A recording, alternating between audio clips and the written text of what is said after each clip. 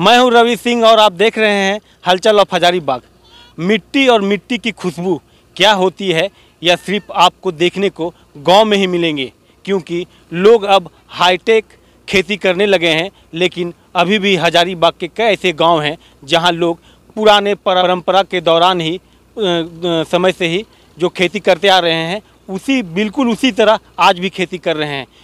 खेती, धान रोपनी चल रहा है और रोपनी के समय जो गीत गाते हैं वो आप सुन सकते हैं। और इस गीत को गाने से क्या होता है हम जानते हैं। चाची से। चाची क्या गाते हैं? आखिरी जो धन रोपनी करते ये रोपा रोपो ये बाबू तो वह गीत हमीन सब मिलजुल के सब गावो ही है। क्या होता है? उससे आखिर क्या होता है वो? वो कुछ ना अपन शौक है मौज है अपन मन बहाल है। यही मन बहाल होता है।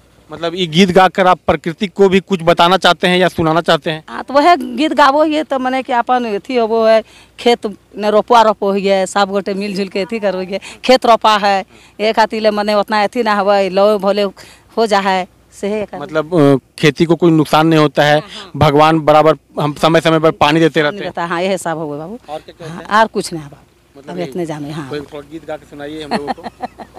कौन गीत गा के सुना कोई भी गीत गा के सुनाइए। भुला गेल के गीत नहीं हो बाबू गइए नहीं न हो?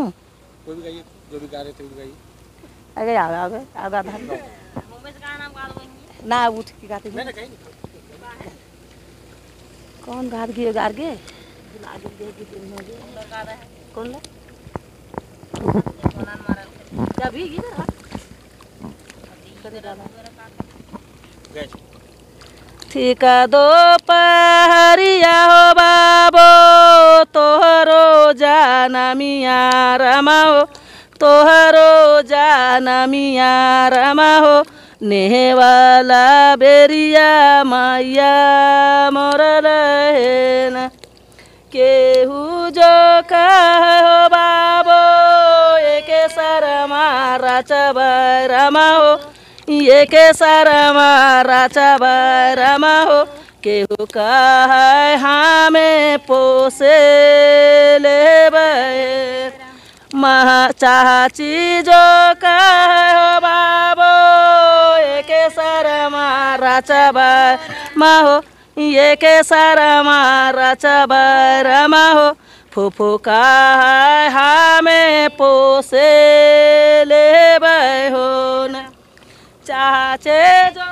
तो आपने देखा किस तरह लोग गीत क्यों गाते हैं? क्योंकि खेती को कोई नुकसान ना हो, भगवान को आग्रह करते हैं कि समय समय पे पानी देते रहें और इनकी खेती हरी भरी रहे और इनका घर खुशहाल रहे।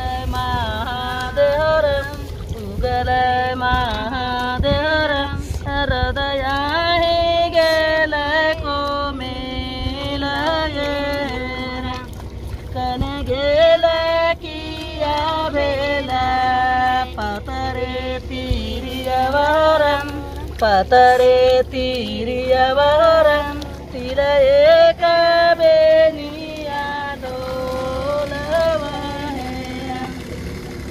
തോര പോരാജ തെഹുലു ഗുണമാലം തെഹുലു ഗുണമാലം മോര ഗോദ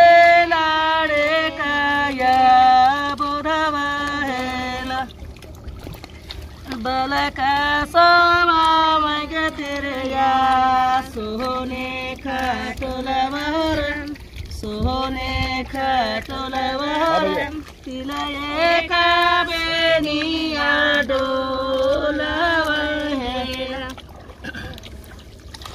येताना सोनाला महादेव चढधारा हरवर चढधारा हर